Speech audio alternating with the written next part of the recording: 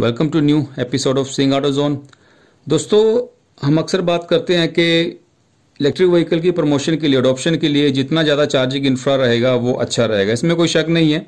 आज हम बात करेंगे टाइप ऑफ़ चार्जर्स उसके अलावा एक अपडेट भी जुड़ा है चार्जर से। टाटा उस पर भी बात करेंगे। और साथ में एक जो मेन डीसी फास्ट चार्जर रहते हैं, एक, दो टाइप के रहते हैं C S S and CHAdeMO इनमें क्या डिफरेंस है? इन पर भी कंपैरिजन करेंगे।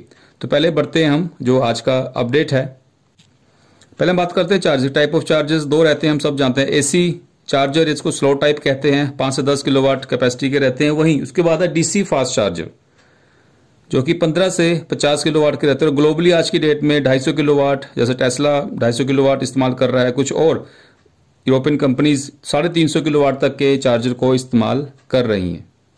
लेकिन भारत में अभी मैक्सिमम जो मैक्सिमम पावर का 50 किलोवाट 50 किलोवाट का जो चार्जर जिसको डीसी फास्ट चार्जर है, वो ही अवेलेबल है। ज़्यादा नहीं है सेटअप इस पर, क्योंकि इसकी कॉस्टिंग बहुत जाती है। एक single DC fast charger 50 kilowatt का, इसका प्राइस कम से कम 10 लाख के आसपास आ जाता है टैक्सीज वगैरह डाल के इंस्टॉल करके।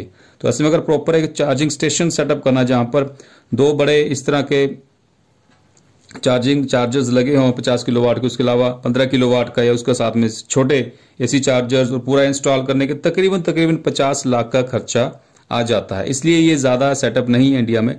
लेकिन आज का अपडेट डीसी फास्ट चार्जर से है और वो है टाटा पावर टाटा पावर ने एक यहाँ एमयू साइन किया था एमजी मोटर्स के साथ। इसके बाद उनके जितना भी डीलर नेटवर्क था ऑल इंडिया वहाँ पर 50 किलोवाट का DC fast DC fast charger को सेटअप करना है।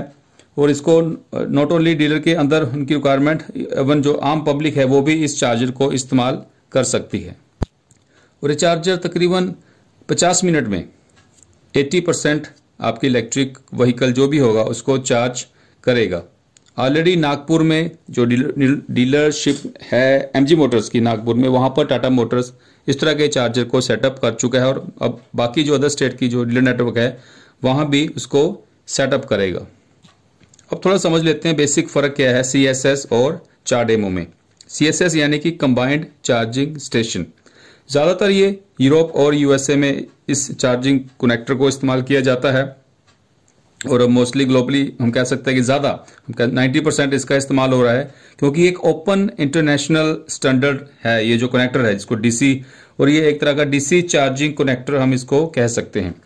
ज़्यादातर ये बीएमडब्ल्यू की आई थ्री किया कि E Niro Volkswagen E Golf Jaguar I Pace इन सब में इस तरह के कनेक्टर को इस्तेमाल किया जाता है। टेस्ला का अपना अलग सिस्टम है। वो सुपर चार्जर है। अलग से उसका सिस्टम है बिल्कुल। उस पर हम अलग से बात करेंगे। और जनरली जो इसकी सप्लाई रहती है सी एस एस की, वो 25 किलोवाट से लेकर 350 350 किलोवाट तक की कैपेसिटी के ये चार्जर होते हैं। और अभी तक ग्लोबली हम बात करें अगर यूरोप में जो मेरे पास डाटा है, जून 2020 तक का 8000 के आसपास इस तरह के C S S DC fast chargers लगे हैं।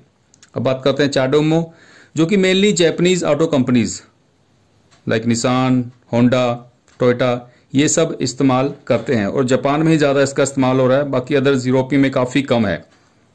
और इसकी जो कैपेसिटी रहती है 50 किलो वाट से लेकर 400 400 किलो वाट के आसपास रहती है। जनरली निशान लीफ होंडा क्लैरिटी या जो अदर्स टोयटा की इलेक्ट्रिक कार्स हैं उसमें इसको इस्तेमाल किया जाता है। अगर बात करें टेस्ला सुपर चार्जर्स की यूरोप यूरोप में यूएसए में ग्लोबली और भी 250 से लेकर 350 किलो वाट पावर के ये इनका चार्जर सेटअप रहता है। ग्लोबली इस टाइम टेस्ला के पास 2900 उनतीस के आसपास चार्जिंग स्टेशन है जिसमें 10,000 से ज़्यादा कनेक्टर लगे हैं। इनका अपना ही चार्जिंग सिस्टम है सारा। इसको हम सी एस एस या चाडेमो नहीं कह सकते। ये बिल्कुल सेपरेट है इन सबसे। और काफ़ी तेज़ी से जहाँ जहाँ टेस्ला को लॉन्च किया जा रहा है, वहाँ पर इस तरह के सुपर चार्जर को सेटअप किया जा रहा है। और एक खासियत है टेस्ला की, कि जहाँ भी ये अपनी इलेक्ट्रिक कार को लॉन्च करते हैं, वहाँ पर चार्जिंग इंफ्रा डेवलप करते हैं। और उनकी कोशिश रहती है कि वो सारा सोलर बेस्ड हो। तो ये सबसे बड़ा एक प्लस पॉइंट है यहाँ टेस्ला सुपर चार्जर का। तो ये था आज का अपडेट। आपका क्या कहना है इस पर कमेंट में ज़रूर बताइएगा। आज के लिए इतना ही। धन्यवाद। वीडियो को अंत तक देखने के लिए। जय हिंद।